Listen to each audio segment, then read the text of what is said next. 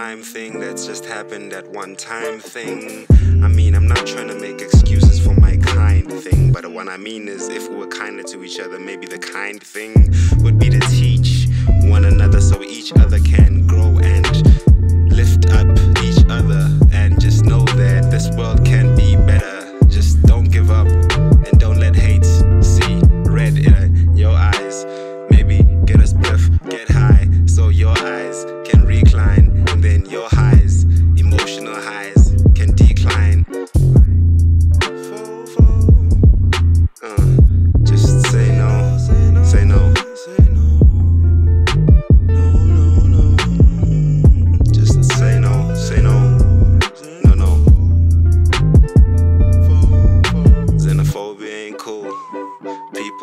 in schools, even in tuck shops too.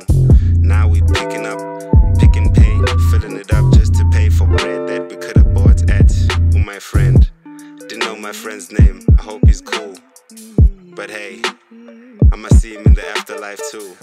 And I'ma be get a chance to apologize too. I know that I wasn't in the part that did it, but I feel so ashamed that this shit happened. Anyway.